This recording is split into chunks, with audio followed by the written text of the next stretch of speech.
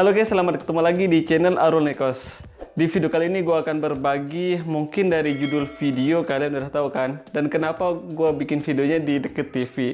Karena gue akan berbagi gimana caranya manfaatin TV kita dijadikan sebuah monitor apabila kamera kita itu nggak bisa flip screen atau belum bisa flip screen. Jika sebelumnya gue udah bikin tutorialnya sebuah smartphone dijadikan flip screen ataupun dijadikan monitor di kamera yang nggak punya yang nggak bisa flip screen. Dan sekarang gue akan berbagi gimana tutorialnya.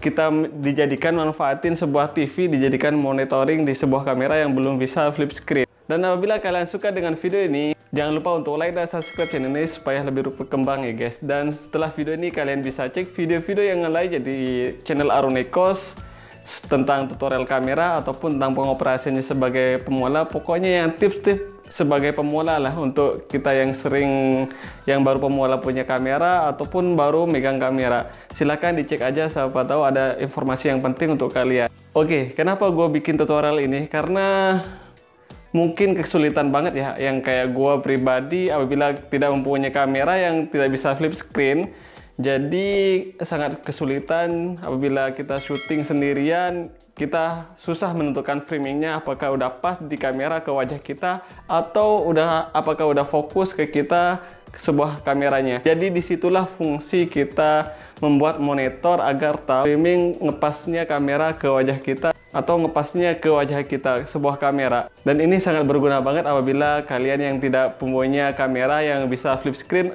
tentunya kayak kamera DSLR yang belum bisa flip screen yang entry level gitu kan banyak yang belum bisa entry, yang belum bisa flip screen. Ini sangat berguna banget. Dan jika sebelumnya gue udah bikin tutorialnya tutorialnya sebuah handphone dijadikan monitoring dan sekarang sebuah TV dijadikan monitoring. Oke, terutama TV-nya kita cek dulu. Di sini gue menggunakan TV LG yaitu TV LED. Up, dicek dulu apakah udah support HDMI. Dilihat kalau di TV gue ini udah support HDMI, jadi udah ada colokannya. Lalu di kamera kalian dicek dulu untuk di kamera di kamera gue yaitu udah ada yaitu port micro HDMI nya jadi udah bisa. Dan yang ketiga kalian harus beli kabel seperti ini yaitu kabel HDMI kabel HDMI ini yaitu murah. Di sini ada colokan HDMI di sini gue beli colokan HDMI itu HDMI namun yang dibutuhkan harus ada adapternya jadi gue beli yang bisa adapter yaitu ke micro HDMI yang untuk ke kameranya jadi yang dibutuhkan ini harganya murah. Kalian bisa beli di online shop ataupun marketplace. Ini harganya pokoknya murah di bawah 50 ribuan. Jadi sangat bermanfaat untuk kalian. Silahkan dicoba aja ya guys. Oke langsung kita ke langkah selanjutnya. Langkah selanjutnya kita colokin port HDMI-nya ini ke kabel HDMI-nya karena ini pakai adapter ya guys. Ada juga yang langsung HDMI itu micro HDMI. Namun gue beli yang HDMI HDMI jadi gue butuh yaitu adapter lagi ke micro HDMI-nya. Jadi udah dipasang kayak gini lalu kita pasang ke kameranya dulu. Kita pasang ke kamera yang udah kita punya. Lalu kita pasang ke TV. Dan setelah itu kita langsung nyalakan TV, langsung kita input ke HDMI dan setelah ke HDMI langsung kita langsung nyalakan kameranya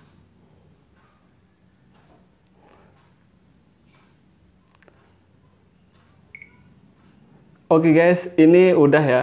Ini udah dicolokin seperti ini.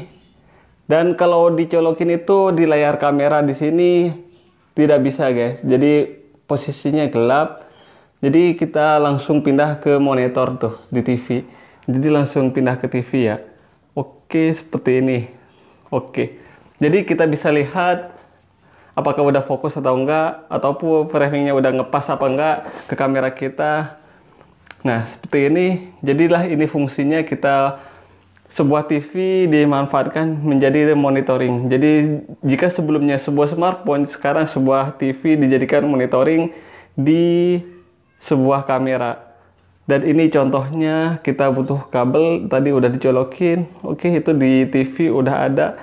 Itu gambar yang dari kamera guys. Itu dari kamera langsung tampil ke TV dan ini bukan hanya sebuah TV sebuah ngerekam video aja. Ini lagi ngerekam itu posisinya. Dan bisa juga dijadikan kita apa tuh kalau melihat album bisa dilihat di TV. Kalau lagi ada isi album di file kameranya. Jadi bisa ditampilkan ke TV di setel TV. Oke, seperti ini. Dan inilah fungsinya kita membuat monitoring sebuah TV di kamera maupun DSLR maupun juga mirrorless. Jadi ini sangat bermanfaat banget apabila kalian yang belum bisa flip screen. Tapi kalau udah flip screen nggak usah. Tapi kalau untuk menyetel sebuah file video di kamera ditampilkan ke TV ini bisa. Ini berguna banget. Oke, segitu saja video kali ini. Semoga bermanfaat dan sampai jumpa di video selanjutnya. Thanks for watching. Oh, ini ada di situ ada. Oke. Thanks.